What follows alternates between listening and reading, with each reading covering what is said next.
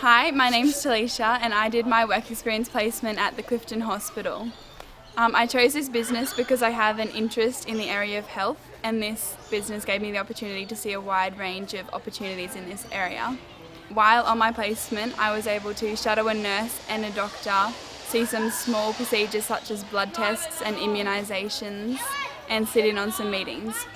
Overall the experience was really enjoyable and definitely gave me a lot to think about um, in regards to what I do after school. Whilst on my placement at work experience, I was able to sit in with the doctor and it made me excited about my own future in medicine and making relationships with my own patients. Hi, I'm Zoe and I did work experience for a week at Queensland X-Ray. Queensland X-Ray is an organisation, It um, they have a building on Russell Street, St Andrews and St Vincent. So throughout the week I, um, I got to see each place and how they did each X-ray. During the week, I got to see how they did CT scans, MRIs, ultrasounds, and I even got a look at nuke med. When I did the CT scans, I was able to help them with the paperwork um, behind the scenes. Um, that was really interesting to see how they interacted with their patients as well as what they had to do after they took the x-ray.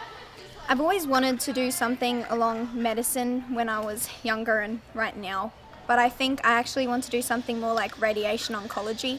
But radiology was really good to look at and it saw me what happens when you get your x-ray taken.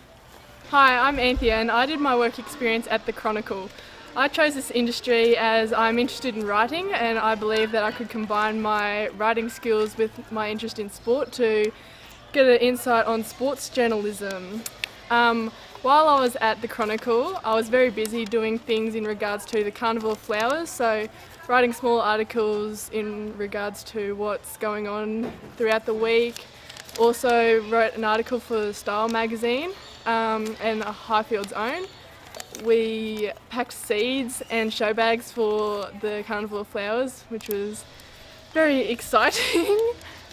Some of the highlights of my placement at work experience was getting to know the Chronicle team and being accepted as a part of the team for the week. I found I was very at home with everyone and was comfortable with working there.